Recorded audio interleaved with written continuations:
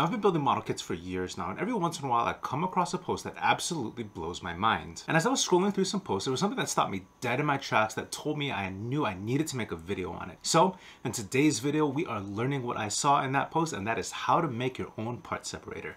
Let's get it.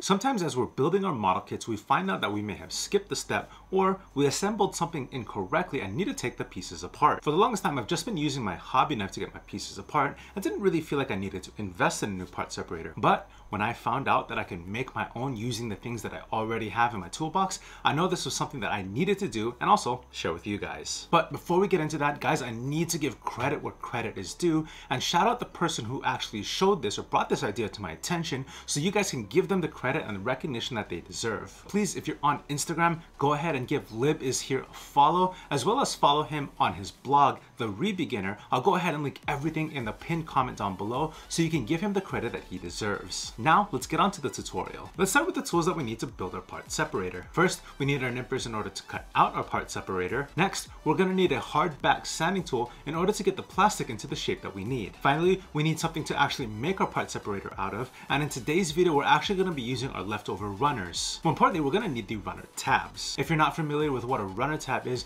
they're gonna be these little flags here that stick up off the runner that let us know which runner we're looking at as we're building our kits. Once we have all of those things in place, let's go ahead and start making our part separator. First, let's cut our tab. Try to find one that's completely solid so that as we sand it, it doesn't become too weak as we start to use it for a wedge to get our pieces apart. Now, since our tabs are gonna have a little bit of the runner on one of the edges, we're gonna go ahead and cut off about an inch from our working space in order to make for a nice and even tool that we can slide between our pieces. Once our tab's all completely cut out, it's time to sand our pieces. Now, we don't need to completely sand the entire tab. We just wanna focus on the completely solid side in order to get a working surface. If you have a metal file, this would be a great time to use it to file down all the excess raised areas to bring it back down in line with the rest of the tab around it. Now if you don't have a metal file, that's okay. All we're doing is we're sanding away the raised letterings to bring it back down to the level of the rest of the tab. Once the lettering is all removed, we're gonna go ahead and put our sanding stick down on the table, which is gonna give us a nice even surface as we begin to form our wedge. As we run our tab back and forth over the top of our sanding stick, be sure to keep a nice shallow angle to make it easier to pry our pieces apart. If it gets a little too steep, it makes it harder to get pieces apart, so the shallower the angle, the better. Once you're happy with the angle of your wedge, go ahead and call it done and give it a test out on some of your pieces you have lying around. The best part about the separator is that it uses the same plastic that our kits are made out of.